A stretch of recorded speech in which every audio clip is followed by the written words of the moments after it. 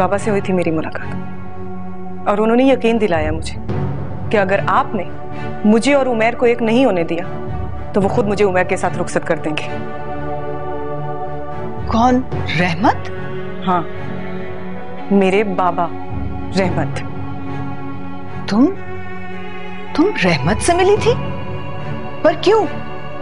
رحمت اچھا انسان نہیں ہے وہ بہت خطرناک ہے۔ وہ جو بھی بابا ہے میرے سمجھیے آپ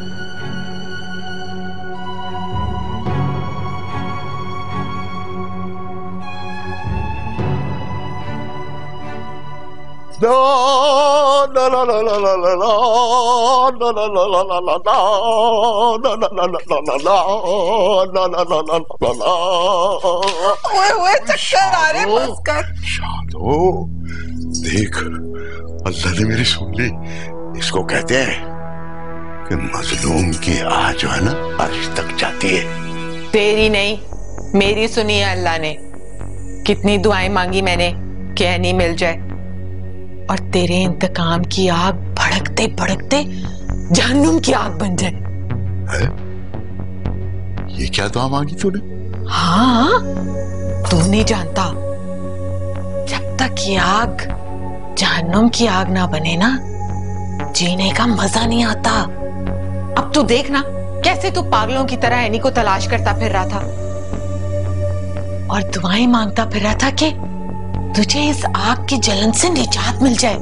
ہاں اب تو دیکھ اس آگ میں کیسے جلاتا ہوں میں طاہرہ کو۔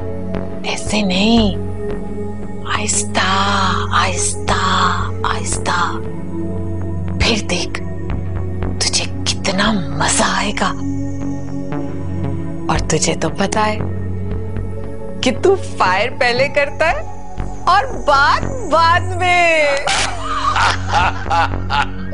ارے قربان جاؤں تیری باتوں کے۔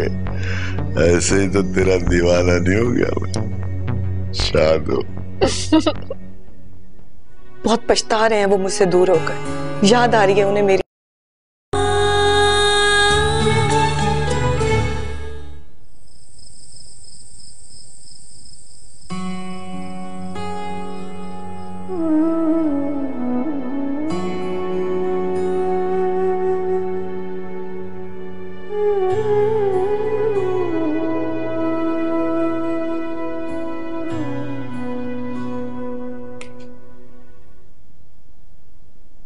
پلیز امی لائٹ آف کر دیں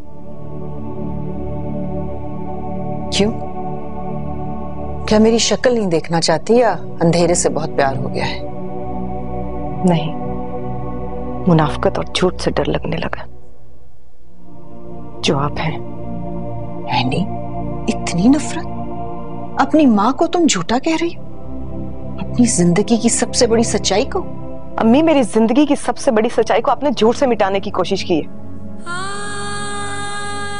مگر یاد رکھیے ہار آپ کا مقدر بنے گی میرا نہیں۔ جانتی ہوں ہار میرا ہی مقدر بنے گی۔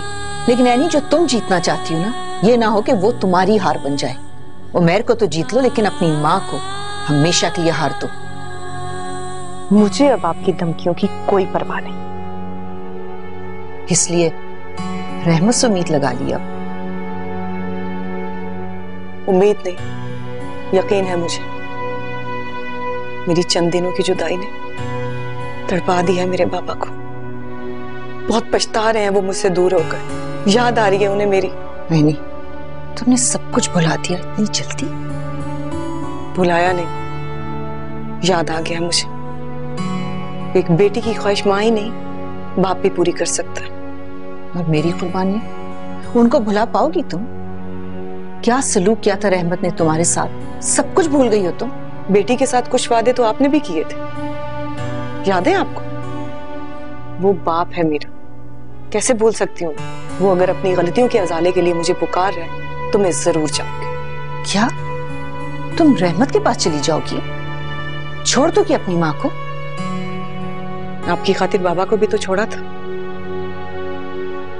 یہ سوچ کر کہ وہ ظالم ہے۔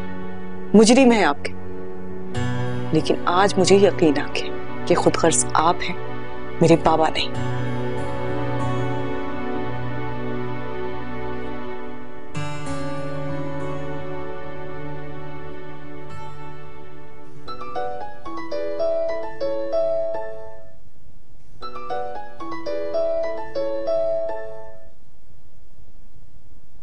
ہاں طاہر کب لینے آؤں تم؟ کبھی نہیں۔ یہی فیصلہ سنانے کے لیے میں نے آپ کو فون کیا ہے۔ اینی رحمت کے پاس جا رہی ہے۔ مجھ سے بدگمان ہو کر۔ کیا؟ جی صرف آپ کی وجہ سے۔ آپ کی دیوانگی نے آندھی بن کر مجھے اپنی لپیٹ میں لے لیا ہے۔ میرا سب کچھ اڑا کر لے گئی ہے۔ مگر میں اپنی بیٹی کو اس آندھی کی لپیٹ میں نہیں آنے دوں گی۔ بہتر یہی ہوگا کہ آپ مجھے طلاق دے دیں۔ جس خاموشی صاحب میری زندگی میں آئے تھے نا اسی خاموشی سے میری زندگی سے باہر نکل جائیں۔ پاگل ہو گئی تم دیوانی ہو گئی ہو۔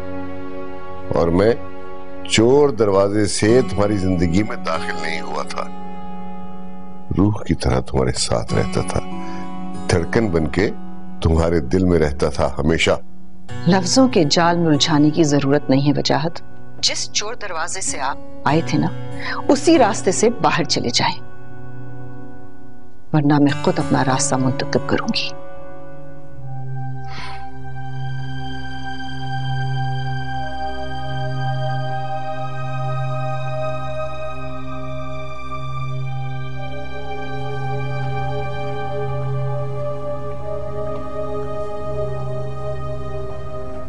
ابا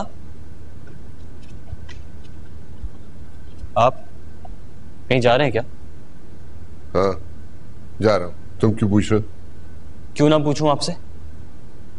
کیوں نہ مانگو آپ سے اپنا حق؟ میری آرزوؤں کو آپ نے دبوچ رکھا ہے۔ میری خوشیوں کے ٹھیکیدار بن گئے آپ۔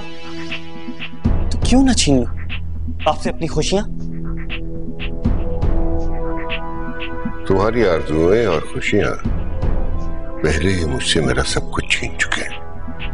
میرا چین میرا سکون اور میری بیٹی۔ بیٹی؟ ارے کس بیٹی کی بات کر رہے ہیں آپ؟ جو آپ سے اپنی محبت کی بھیک مانگنے آئی تھی یا اس بیٹی کی جو اس گھر کی خوشیوں پر ناگن بن کر بیٹھی ہوئی ہے؟ اور مجھے مجھے بلیک میل کر رہی ہے صرف اس لیے کہ اس کا اپنا گھر بسا رہے۔ علینا تمہارے لیے دشمن ہو سکتی ہے لیکن میری زندگی ہے وہ میری بیٹی ہے۔ رینی؟ ہاں رینی بھی بیٹی ہے میری۔ ایسے ہوتے ہیں باپ؟ ایسے ہوتے ہیں باپ جو اپنی بیٹی کی جھولی میں خوشیوں کا ایک سکہ تک نہ ڈال سکے؟ اگر کل تک آپ اینی کے گھر میرا رشتہ لے کر نہیں گئے نا، تو تیار ہو جائے گا۔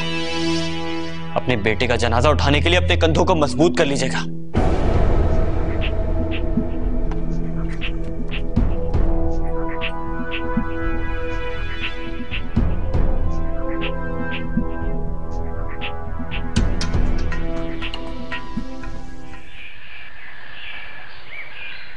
جی وکیل صاحب، آپ سارے کاغذات تیار رکھے، میں آج ہی آ کے دستخط کر دوں گی۔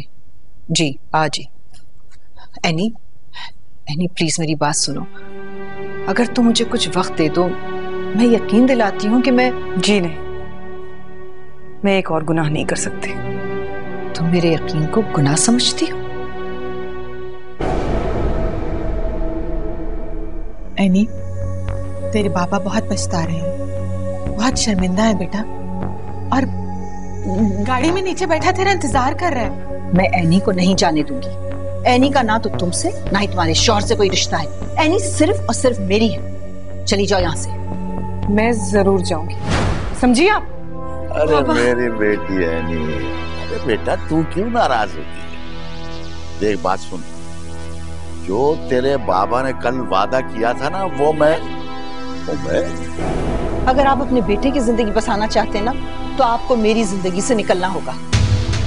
آنکھ